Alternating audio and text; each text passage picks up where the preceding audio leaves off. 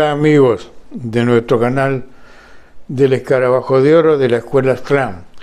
Bueno, como ustedes saben, el que no lo vio, el video anterior que hice hace pocos días sobre la nueva enseñanza que estamos dando en la escuela y prometí hacer otros videos, este sería el segundo video. El tema de este video que va a ser un poco controvertido porque las palabras hoy no concuerdan con los conceptos que realmente tienen, así que voy a ir aclarando. Se trata de este tema que voy a explicar de la historia nuestra, la historia de la humanidad, porque si no conocemos la historia de la humanidad no conocemos nuestra propia historia. Y se trata acerca del desarrollo psíquico y el desarrollo psíquico del hombre en el mundo físico, que es una escuela, es la conciencia moral. Veamos qué dice hoy la cultura oficial sobre conciencia y moral. Conciencia. El sentimiento interior por el cual aprecia el hombre sus acciones, nuestra conciencia es nuestro juez, nuestra integridad, nuestra libertad, nuestra comprensión. Esta es la descripción de lo que hoy conocemos por conciencia. Entonces la libertad de conciencia es lo que tiene que tener cada hombre para pensar correctamente y poder eliminar el mal y la ignorancia. Y moral, porque va a ser conciencia moral, es la ciencia, la ciencia que enseña las reglas que debe seguirse para hacer el bien y evitar el mal conjunto de facultades del espíritu. Y lo contrario es la ignorancia. Así que vamos a hablar del desarrollo de la conciencia moral desde la historia, que es la historia nuestra, de nuestra humanidad, hasta el momento actual. Y voy a dar ejemplos históricos muy antiguos hasta llegar al momento actual. Continuando con la ciencia que estoy dando de escuela, con el primer video anterior, y el que no lo vio, conéctese con el anterior. ¿Mm? Bien.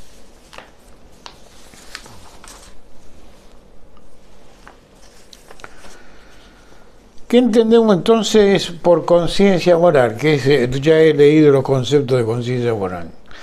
Hoy hablar de conciencia moral es muy controvertido, ¿no es cierto? ¿Mm? Este, primeramente no se toca la palabra conciencia, no se toca la palabra moral, o sea, hay un montón de hoy palabras prohibidas por la época este, eh, conflictiva que vivimos, ¿no es cierto? La palabra moral viene del latín mores, que en cierta medida quiere decir costumbres. Por ejemplo, en la antigua Grecia, o en cada pueblo de cada época, cada época tenía su costumbre de vida, las costumbres comunes. Los griegos conseguían otra moral además más profunda que la común, que era el ethos.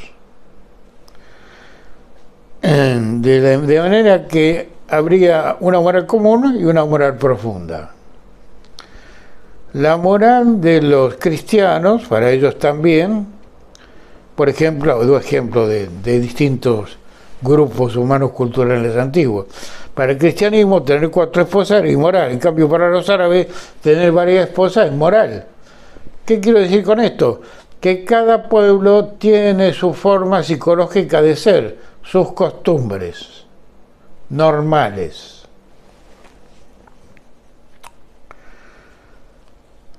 Le preguntaban a Platón lo siguiente también. Doy varios ejemplos históricos para luego eh, engancharnos con la parte moderna.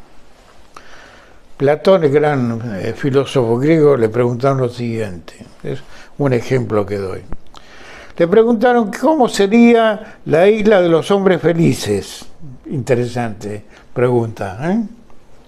Y contestó diciendo esto, en esa isla, cuando hubiera frío, los hombres se cubrirían, y cuando habría calor, se destapaban. Pero le siguieron preguntando, ¿y cuando hacía mucho calor? Pues entonces se destapaban de todo.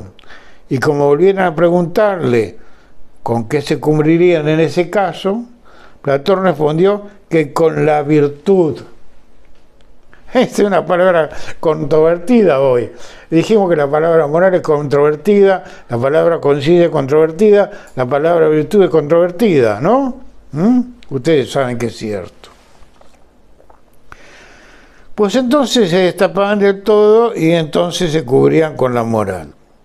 La virtud es lo único que cubre, pues, lo contrario de la ignorancia. En la época medieval, otro ejemplo, todos deberían ser buenas, eh, buenísimas personas en atención a la ropa que llevaban. Así pues, lo único que puede cubrirnos o descubrirnos es el sentimiento superior al sentimiento paranoico. Entonces, moral o conciencia moral es un sentimiento superior espiritual. Lo contrario del comportamiento paranoico. Habíamos dicho que existían dos tipos de moral, como decían los griegos. Una de costumbres de cada época y otra moral profunda a la que no afectaban los elementos temporales. Los, griegos, que fueron eh, los creadores de la cultura occidental, hablaban de una moral profunda que tenía una belleza interior llamada ethos en griego y otra belleza exterior que correspondía a la interior que llamaba estetos que sería la armonía de nosotros mismos y con la naturaleza, que era no hacer daño innecesario tanto al mundo interior como, como al mundo exterior. El buen hombre, el hombre válido, es el que cumple correctamente las funciones de evolución. Otra anécdota que alegoriza esto que estoy explicando, le preguntaron a Sócrates, otro de los grandes filósofos de, de aquella época, que habla por boca de Platón en los diálogos. ¿Qué era lo propio para el hombre? Aquello que de humano tiene Sócrates respondió que el hombre tiene una parte animal en común con los animales, que el comer, el beber, el tener relaciones comunes, la vida cotidiana pero también tenía intuiciones, facultades divinas que tenemos en común con los dioses. Era del lenguaje antiguo, los dioses eran la conciencia superior. Eso sería nuestra parte divina, la que decide. O sea, es aquella que se reconoce, que se vuelve a conocer como parte de los arquetipos. Otra palabra griega, acuñada por ellos. Arque, modelo, tipo, primer modelo, modelo inicial. Luego tomada por Jung en el mundo moderno, ¿no es cierto? Por lo tanto, un verdadero hombre es el hombre arquetípico que sigue los dictados de la conciencia moral, según decían los griegos. La felicidad verdadera es aquella que no se basamenta en el dolor ajeno, decían. Pero pensemos que la felicidad que poseemos proviene del daño que hoy causamos a otros. Hoy. Es decir, es distinto de lo que pensaban los antiguos. Por eso el comercio fue tan despreciado en la época antigua porque era una especie de guerra, porque siempre había uno que ganaba y otro que perdía. Esta moral profunda fue proclamada en todas las culturas antiguas que estoy explicando, pero para poder llegar a una comprensión profunda de este tema hay que despertar previamente para no pecar de ignorante.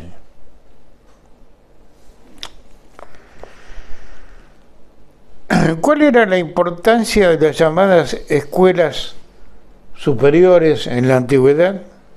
Y su papel, por ejemplo, en el pitagorismo, en el budismo, en el estoicismo, porque nosotros somos producto de la historia, nuestra humanidad actual. Por eso tenemos que rastrear las causas primeras de, la historia para saber quiénes somos ahora y qué es nuestra época.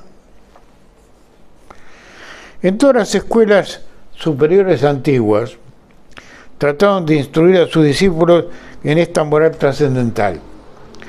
Pero como la moral es una cosa viva, no es solamente una palabra de una novela, sino es un proceso vivo psicológico, un proceso psíquico, psicológico, concreto. Todos los procesos psíquicos, no cerebrales, sino propios de la mente psíquica, son procesos energéticos de la conciencia superior. Y el cerebro es un vehículo de lo que llamamos la psique o la mente. Entonces, esta, esta cosa viva, la moral, inventaron y reproducieron una serie de disciplinas en estas escuelas formativas de conciencia que iban para llevar al candidato a la vivencia de determinadas verdades. El misterio en el sentido de las viejas escuelas significa algo eh, místico, no algo escondido. Hoy se cree que era un místico lo escondido. No era escondido. Místico en aquella época era lo que era hoy llamaríamos lo espiritual. ¿Mm? Voy a ir traduciendo el lenguaje antiguo al lenguaje moderno que nosotros comprendemos hoy, ¿no? Los misterios, misterios llamaban los conocimientos desconocidos por el hombre común. Eran instituciones mundiales en aquellas épocas y se preocupaban de que el hombre superase su etapa estrictamente animal para pasar a ser humano. Hubo misterios en todas las épocas, o sea, conocimiento superior en todas las épocas, y nosotros analizaremos tres escuelas para dar ejemplos de este, este, esta secuencia histórica. De un modo diferente, o sea, que los misterios o los conocimientos superiores eh, se habían eh, adaptado en el momento histórico a las condiciones generales de cada época histórica. Ejemplo, doy varios ejemplos de esto. Así vemos que en Asia llega un avatar. Un avatar era un maestro de una humanidad, ¿no es cierto? Los hindúes llaman avatar, traducido al castellano, un gran maestro que guía a la humanidad, en nuestro lenguaje castellano En, Asia llega un avatar que es Buda y asume la figura de un monje mendicante porque ese pueblo veneraba y respetaba sobre todas las cosas a los monjes mendicantes. La naturaleza es inmensamente inteligente. Cuando digo la naturaleza no me refiero a la naturaleza externa del planeta, sino la inteligencia del planeta, la inteligencia de la naturaleza, no las plantas, los animales, los mares, que la parte externa de la naturaleza. Hablo de la inteligencia que hay sobre los objetos que nosotros vemos con nuestros ojos, con nuestros sentidos físicos de la naturaleza. ¿Eh? cuando hablo de la inteligencia de la naturaleza. Se disfraza y adapta y crea formas más adecuadas para cada época, para cada maestro, para que cada pueblo de su época pueda aprender lo que el maestro enseña.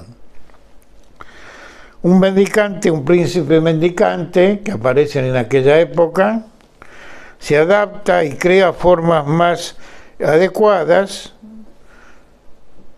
este príncipe mendicante, un hombre eh, respetado en su época. ¿Cómo respetaban en la época esa costumbre, esos roles? Esos eran roles. Esto era en la India antigua. Otro ejemplo histórico. En el siglo V entre los árabes no podía aparecer un monje mendicante porque había otra época histórica, otra costumbre, otra mentalidad. Entonces la inteligencia de la naturaleza crea algo diferente, un maestro diferente. Y aparece Mahoma en la forma de un guerrero, un Kalima, Kalima es un jefe, un hombre que realiza fenómenos parapsicológicos extraordinarios sobre Medina, era una ciudad, es una ciudad este, famosa en Arabia, en la y la Meca también, y produce fenómenos trascendentes para su pueblo. Y al producir estos fenómenos trascendentes, entonces el pueblo empieza a confiar y aceptar sus ideas. Crea entonces para el pueblo árabe este arquetipo, este modelo primordial. La, inteligencia de la naturaleza crea pues un guerrero de origen humilde, un caudillo, un conquistador. Otro ejemplo. En un mundo como el Imperio Romano, donde la gran mayoría eran esclavos, no podía haber sino una especie de esclavo revolucionario que muere con la muerte de los esclavos, como sucedía en aquella época del primer imperio romano precristiano, la crucifixión que hablaba con palabras moralmente sencillas y que eh, da casi una revolución, casi hace una revolución social y religiosa, fue el Maestro Jesús, el Cristo. Otro ejemplo, doy varios ejemplos para que nos vayan ubicando en el proceso histórico. En China, en el siglo VI, antes de Cristo el arquetipo tenía que, ser, según la inteligencia de la naturaleza, un filósofo inteligente, cáustico, altamente intelectual, noble, que se llamó Lao Tse. Y otro de ellos también contemporáneo, Confucio, que en lugar de hablar claro, habló eh, con enigmas, de acuerdo a su época y su pueblo, ¿no? Y uno de enigmas es el, siguiente. Y decía, el sendero es el sendero y algo más. Se refería a lo que los hindúes llamaban, lo, perdón, los chinos llamaban el Tao. Un enigma. Entonces, al estudiar la forma en que se presentaban estos maestros, notemos la gran sabiduría de la inteligencia de la naturaleza. Recuerden lo que dije de la inteligencia de la naturaleza cómo se adapta y amolda al proceso histórico para ayuda de la humanidad. En, la en, los misterios, o sea, en las enseñanzas superiores antiguas, pasó lo mismo, no todas las enseñanzas superiores fueron iguales, cambiaban eh, su técnica según el momento histórico, según el pueblo al que iban dirigidos doy esta enseñanza porque hoy también tenemos este proceso.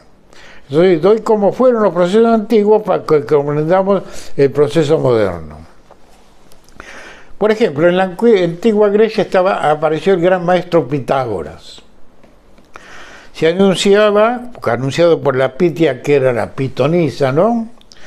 En forma de una mujer, que le dijo que la madre de Pitágoras de, predijo que iba a ser un gran filósofo o sabio, como se decía en aquella época, y en honor a ese mensaje la madre lo llamó Pitágoras, hombre de sabiduría.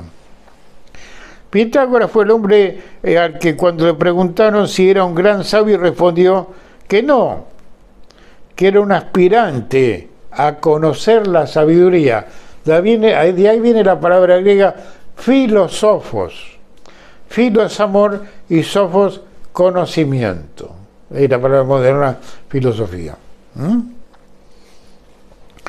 Las enseñanzas de las religiones son tan extraordinarias. Porque las culturas antiguas se basaban en las religiones, no había partido político, no había universidades, no había cátedras especiales como en nuestro mundo moderno, sino que la cultura y los poderes políticos y culturales estaban en manos de las religiones, tanto de Oriente como en Occidente. Que enseñaban cosas extraordinarias desde el punto filosófico y psicológico, eh, que abarcaban todo desde arriba hacia abajo, todos los conocimientos físicos y metafísicos.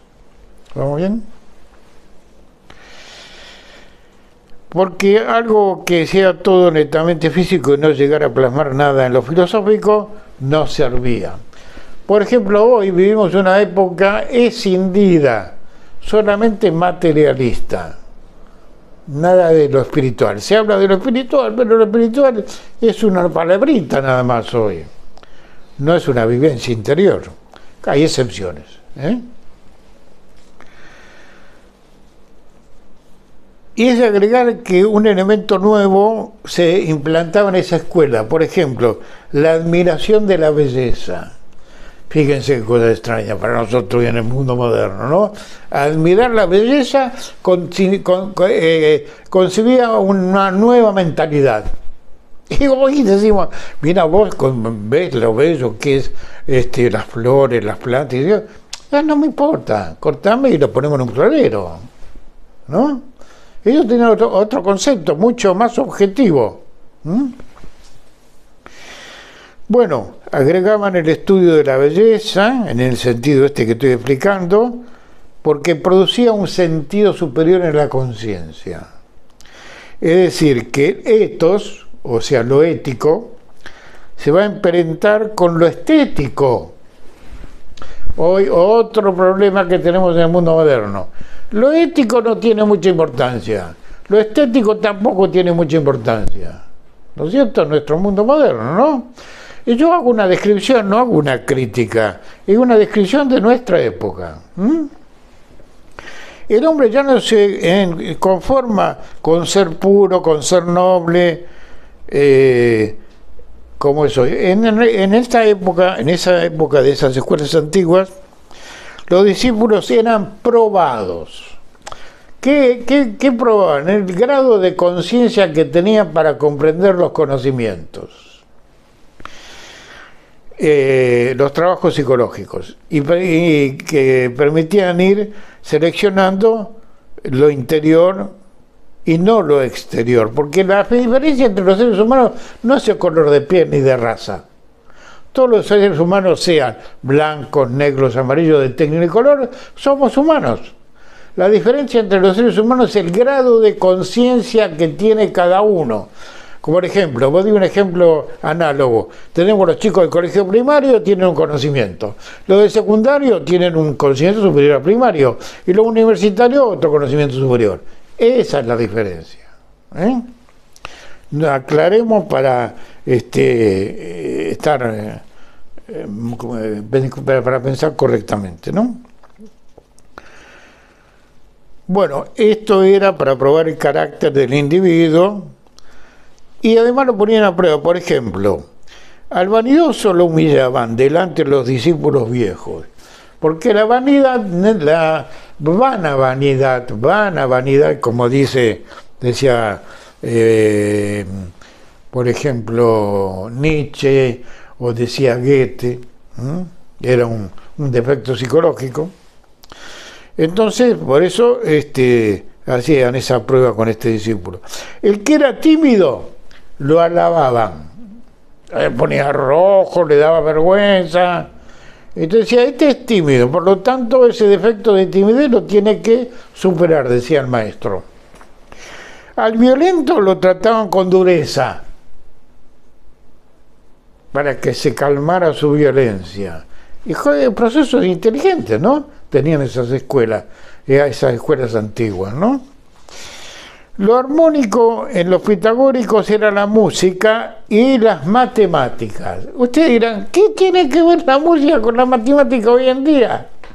Bueno, el que es músico sabe que además de la intuición musical y el sentimiento superior, también tiene que saber algo técnico, el pentagrama, las notas y un montón de cosas. Bueno, ellos habían unido las matemáticas con la música porque las matemáticas aclaraban la parte intelectual de la conciencia y la música la parte espiritual. Constantemente tocaban música bella, hacían cosas bellas y hablaban con bellas palabras. Bueno, ustedes eran qué? Eran unos monjes puritanos, estos tipos. No, no había nada de puritanismo, eran técnicas psicológicas. Bueno, en la escuela de Crotona, que era donde estaba la escuela pitagórica, fue arrasada por un enemigo de todas estas ideas. Siempre pasa lo mismo, ¿no es cierto? ¿Mm? Cuando hay ideas verdaderas, aparece cantidad de enemigos que tocan intereses creados y no va, ¿no es cierto? Bien, sigamos. Quedaron pequeños grupos y fue fundador de la matemática, la aritmética y la geometría eh, que hoy usamos, el teorema de Pitágoras y todo lo demás, en el mundo moderno. ¿Sabes cuánto hace de esto? 2.600 años, nada menos que 2.600 años todavía usamos la matemática pitagórica, perfeccionada por Einstein, por Planck, por la mecánica cuántica. Bueno, seguimos con el tema. Bueno, el hombre y sus instintos ahora. Vamos al, plano más psicológico. El hombre y su mente, el hombre y lo real. Es necesario controlar las fantasías, que no es lo mismo que la imaginación. Fantasías son los núcleos del sueño, ¿no? Es decir, algo irreal. La imaginación es lo creativo. O sea, son cosas diferentes.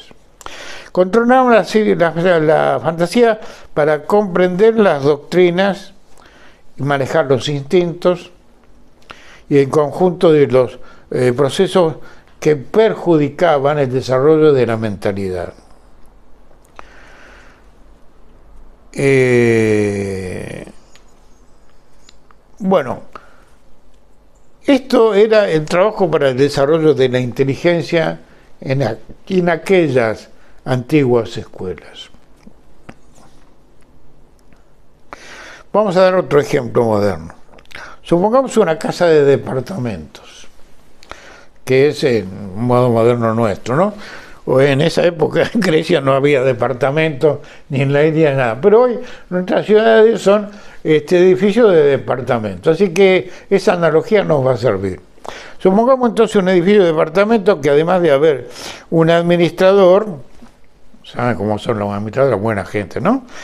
Este, que nada, que además de haber un administrador, eh, cada vecino se preocupa por sí mismo y trata de impedir que los demás vecinos se introduzcan en la vida personal de uno. ¿Mm? Esto es una analogía psicológica, ¿eh? Sin contar con que cada uno decora su departamento de acuerdo a lo que le guste y si el otro vecino lo critica se enoja con el otro vecino. ¿No es cierto? Esto es una analogía, ¿no? Una similitud con ideas psicológicas. Bueno, al contrario entonces ocurre todo esto. Vamos a ver ahora los centros.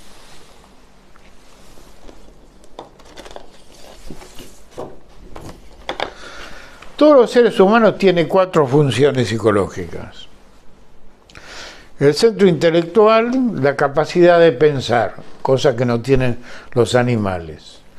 La capacidad de la vida afectiva es esta función. La capacidad del centro instintivo y motriz. Y la libido o centro sexual.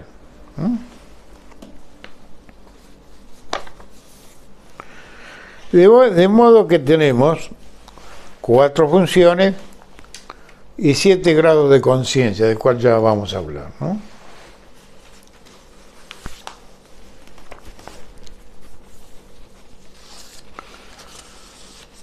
Bueno, tenemos que, en este, este departamento que conocemos, los primeros pisos, que es el cuaternario, ¿eh? estos primeros pisos están ocupados por toda la gente común.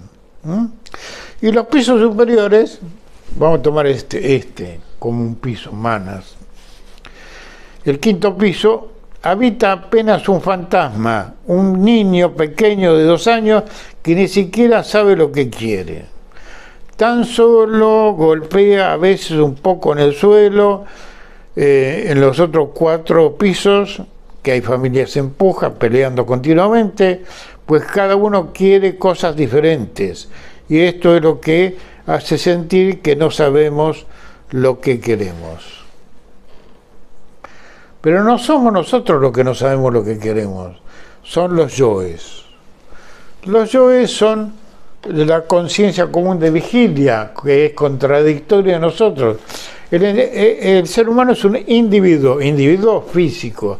Individuo quiere decir no dividido. Por supuesto, nuestro cuerpo no está dividido, cada uno tiene su cuerpo. Pero nuestra mente sí está dividida. ¿Eh? Muy fraccionada. Entonces hablamos entonces de esta fragmentación de conciencia. A eso le llamamos yoes. Ahora planteamos lo siguiente una pregunta eterna de la psicología y la filosofía. ¿Quiénes somos nosotros los seres humanos?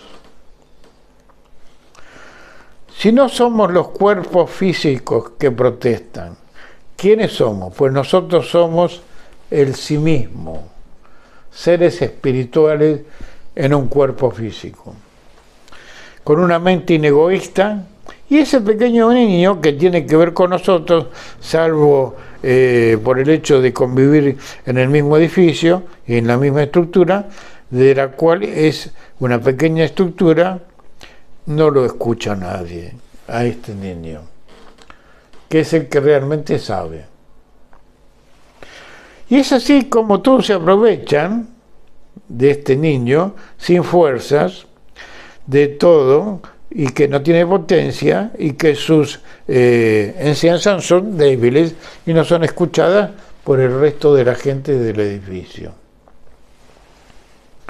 Además debemos recordar que la lucha que hay que entablar eh, para pretender que se gobierne correctamente es corregir los defectos de las funciones psicológicas. ¿Mm? Veamos cuáles son los efectos de las funciones psicológicas que hubo en las antigüedades. Por eso las escuelas aquellas se dedicaban a perfeccionar las funciones psicológicas de los alumnos que estaban. Saber pensar bien, tener sentimientos superiores, dominar los instintos negativos y usar bien la eh, libido. El grave problema que tenemos con nuestros centros inferiores tiene una, problemas difíciles de superar. Estos dos, los centros inferiores. Lo instintivo, los instintos inconscientes y la sexualidad física son las que dominan hoy la conducta humana. Los centros superiores, sentimientos superiores y conocimientos superiores hoy no funcionan casi. Los vecinos más belicosos de este edificio análogo, de la, casa de departamentos, este, tienen una misteriosa relación entre sí, los vecinos. Están todos contra este niño que pretende enseñarles conocimientos superiores, pero que no lo escuchan porque dice, va, es un simple niño que no sabe nada. Sin embargo, este niño de este nivel sí es el que sabe.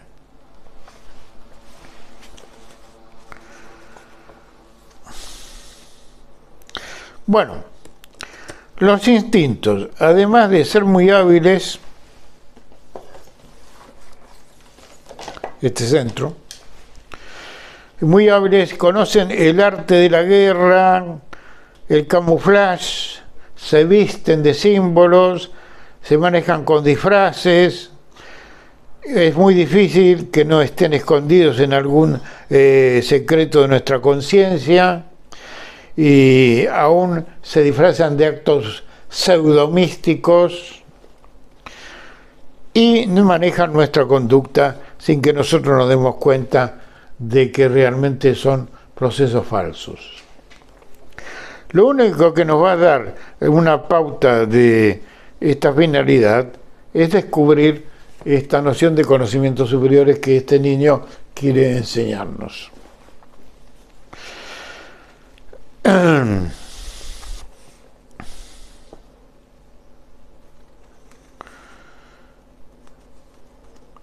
Bueno, hoy se busca la paz, la tranquilidad, porque reina el estrés en todo el mundo moderno, ¿no es así? Ahora, esta paz que buscamos este, es solamente algo que se basa en palabras solamente y no hay hechos concretos. Lo único que uno tiene que de importancia son los duros golpes que da esta falta de paz. ¿Por qué? Los sufrimientos generan conciencia, porque uno al sufrir se va a preguntar eh, cuál es la causa del dolor y del sufrimiento. Va a empezar a reflexionar y cuando empieza a reflexionar empieza a usar esta función, que es la capacidad de pensar, de meditar, y entonces va a adquirir, eh, va a ir adquiriendo inteligencia. ¿Mm? Bueno, la lucha este, del mundo moderno no se libera sin dolor.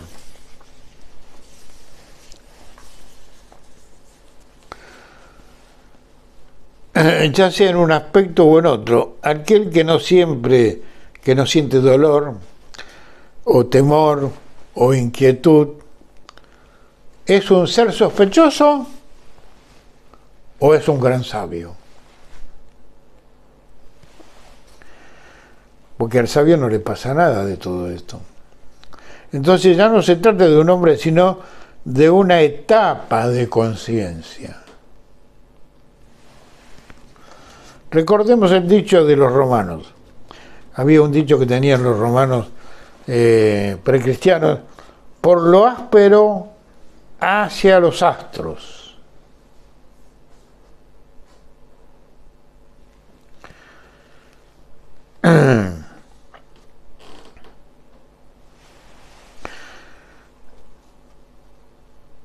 Ya que los destinos del hombre son un camino difícil en la vida, por simple economía. Por lo tanto, seamos conscientes de actuar según las leyes de la evolución y evitemos el mal karma que nos golpea. Una pregunta. ¿En qué se diferencia un carpintero de aquel que no lo es? Bien qué simple pregunta, ¿no? Es para explicar algo. ¿En qué trabaja la madera? ¿En qué se diferencia un filósofo de los demás? En que sabe pensar. No todo el mundo sabe pensar. Y hoy se ha hecho creer a todo el mundo que sí sabe pensar. Si todo el mundo supiera pensar en forma superior, correcta, el mundo hoy no estaría como está. Esta es una realidad. Bien, vamos al siguiente punto. Hasta acá vamos bien, creo que van comprendiendo. Si no, ustedes manden preguntas y vamos a ir anotando qué es lo que hay que corregir o qué es lo que no entendieron. El siguiente punto es el hombre en relación con su mente. La mente es una dimensión. Es una dimensión donde existen cosas. Supongamos que se trata de un planeta, otra alegoría el planeta llamado mente, donde hay hombres, animales, plantas, etcétera, y eh, una serie de, otras cosas, así como el planeta Tierra tiene también un montón de elementos. En el planeta mente todas las cosas estarán eh, hechas de mente. Todos los seres que viven en la tierra, y ahí proviene la frase que Dios hizo al hombre de tierra, todos somos de tierra, físicamente hablando. Mientras nuestra alma no es de tierra, sino que viene de lo lejos, viene del cosmos. Del mismo modo que en la Tierra existen eh, seres variados, con distinto grado de evolución, en esta dimensión de la mente se ven distintas elementos en evolución de pareja, siguiendo eh, con la comparación de la Tierra física, tenemos una parte que nos pertenece, que es el cuerpo físico, y otra parte que no, que es la parte espiritual. El ambiente físico de cada época nos afecta, evidentemente. Cada época tiene su cultura, esa cultura produce eventos, ese evento nos produce este, estados. Por ejemplo, tomemos nuestra época, hay un montón de eventos muy diferentes que hace mil o dos mil años, muchísimos más que antes, y nos producen este, estados bastante complejos que no tenían los antiguos, ¿no? Bueno, hoy el mundo es mucho más complejo que hace dos mil años. Esto eh, nos afecta, nos afecta porque carecemos de conocimiento propio, de verdadero conocimiento acerca de qué significan los eventos, qué significan los estados que nos produce, qué significan las emociones que padecemos. Bueno, todo eso está en el plano de la ignorancia. Entonces vivimos de opiniones, no de un verdadero saber, porque las opiniones son los conceptos que tenemos cada uno en forma personal. Un verdadero saber no es eso, no son las opiniones. Por lo tanto, este centro intelectual no se basa en opiniones, sino se basa en estudios, en conocimientos científicos, filosóficos, artísticos, religiosos. Son los cuatro caminos de evolución. Repito, cuatro caminos de evolución hoy en el mundo moderno son el arte, la ciencia, la filosofía, la religión. O sea, cuatro formas de ciencia que en una pirámide que tiene cuatro lados, tiene cuatro entradas. Y cuando subimos por el lado de la pirámide, en la punta de la pirámide, estos cuatro puntos son uno. Bueno, con este cuidado que estoy describiendo, debemos seleccionar nuestra comida, debemos seleccionar nuestras impresiones. Así como seleccionamos la comida, no vamos a comer veneno, ¿no? También tenemos que seleccionar nuestras impresiones, que no sean venenosas. ¿Mm? Si no nos producen un montón de fantasías que no son imaginaciones, es distinta a la fantasía que la imaginación. La imaginación es lo creativo, lo que los científicos y los filósofos y los psicólogos a través de la época han descubierto en la inteligencia de la naturaleza, eso es la imaginación. La fantasía es el delirio, es la paranoia, es el, toda la secuencia de enfermedades mentales que hoy la psicología moderna clasifica. Eso es fantasía.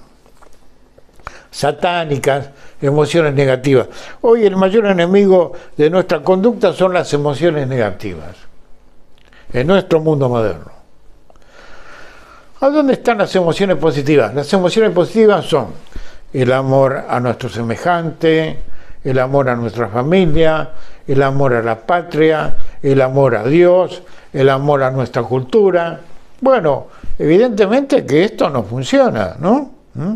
Entonces nosotros estamos viviendo basado en emociones negativas. Así pues, tratamos de educar la mente, solidificándola, eh, para tener una mente sana, para poder actuar correctamente, sin perjudicarnos a nosotros y sin perjudicar a los demás.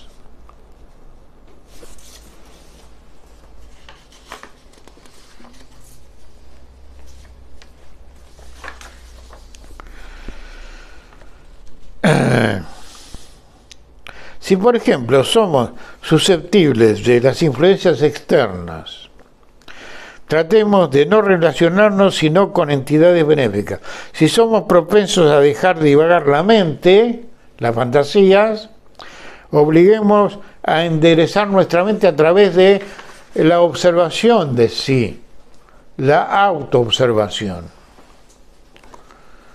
de, de dos procesos para estar en contacto con procesos benéficos, favorables, positivos.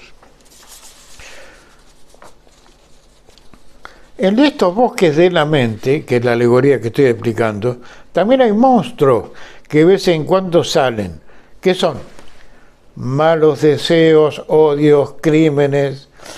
Eh, ¿Y cómo haremos para triunfar sobre ellos?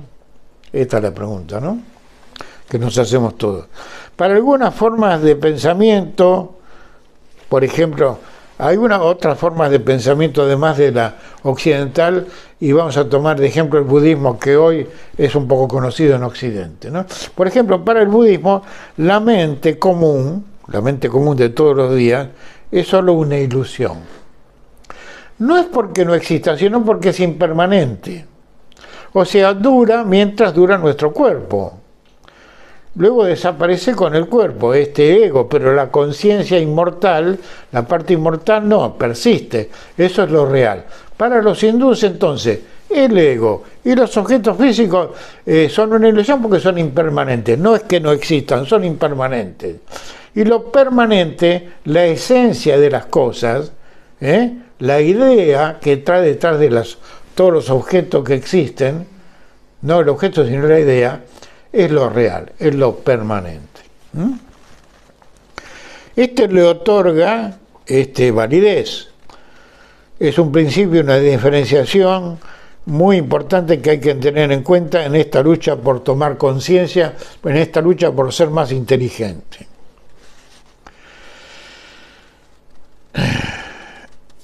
Hoy es filósofo el hombre que piensa si vive o no vive no tiene importancia. Ese culto se basa en la creencia de que la mente es un ente separado del cuerpo en el materialismo, pero la mente y el cuerpo están unidos, no están separados, están interactuando.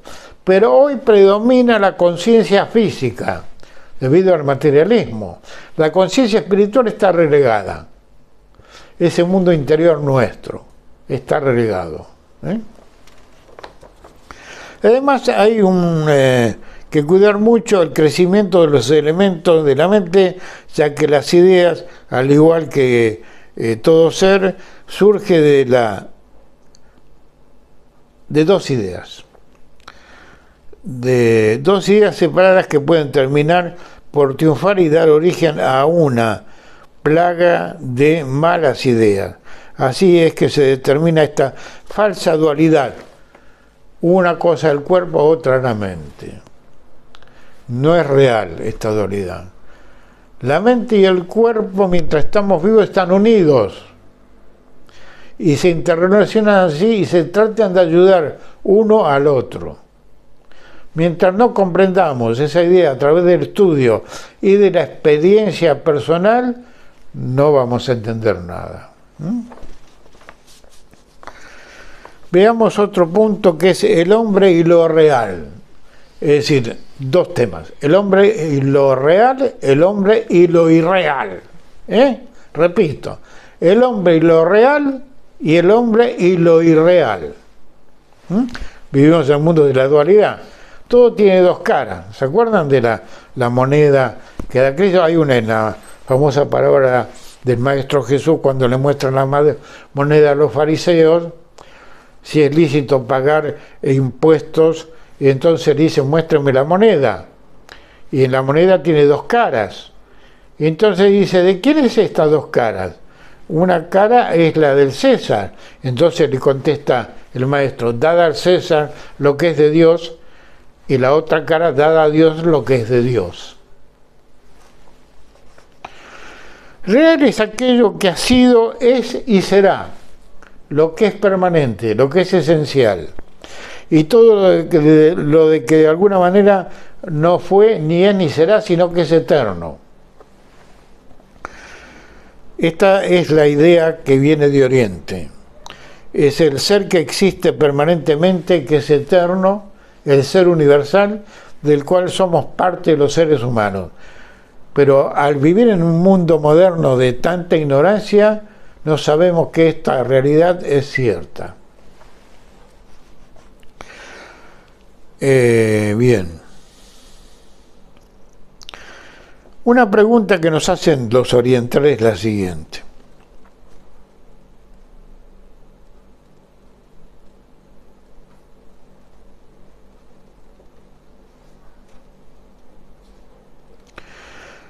Eh, los maestros orientales tienen unos koan que son unas preguntas aparentemente que no tienen respuesta para podernos eh, a ponernos a desarrollar la reflexión. Y una de ellas que puse acá como ejemplo es la siguiente. Nos pregunta un maestro oriental del budismo. ¿Qué pasaría cuando una fuerza incontenible choca contra, una, o contra un objeto indestructible? Repito, ¿Qué pasaría cuando una fuerza incontenible absoluta choca contra un objeto indestructible absoluto. No puede existir tal cosa, es una irrealidad, puesto solo hay un absoluto, no dos.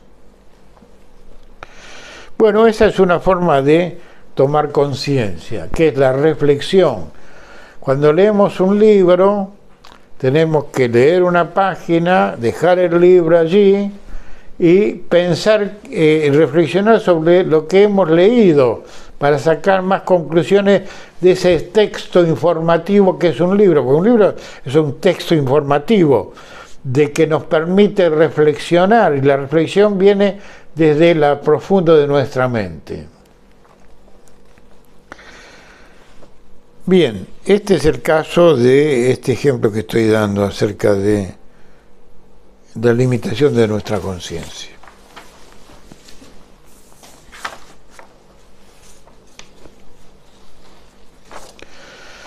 Bien, este, hasta aquí llegamos con esta parte de este video para explicar un poco el proceso de evolución que hemos tenido los seres humanos a través de la historia en estos 2200 años occidentales, que fueron las culturas antiguas, cómo fueron las escuelas, cómo fue su educación, qué tipo de educación daban, qué tipo de cultura tenía cada época, y llegando al siglo XXI ¿Cómo estamos nosotros en el siglo XXI? ¿Qué tipo de escuela hay? ¿Qué tipo de humanidad hay? ¿Qué tipo de generaciones conviven hoy en día? Esas respuestas las tienen ustedes, las pueden responder ustedes. Porque ustedes ya saben en qué siglo vivimos, qué tipo de generaciones hay, los jóvenes, los de mediana edad, los ancianos, que son todos diferentes, cada uno tiene una idea de sí mismo y de la historia y de los procesos internos y externos diferentes, donde hay controversia entre los tres grupos, ¿no es cierto? Bueno, no tendría que haberlo, si, no, si predominara la inteligencia no habría conflicto, pero predomina la ignorancia. En el budismo, en la cadena nidana se dice lo siguiente, de la ignorancia depende el mal karma. Cuando eliminemos el mal karma, eliminamos la ignorancia. Bien, mis amigos, acá llego con el segundo video y así proseguiremos enseñando desde la escuela clan otras enseñanzas psicológicas y filosóficas y astrológicas también para el beneficio de nuestros telespectadores. Muchas gracias, hasta pronto.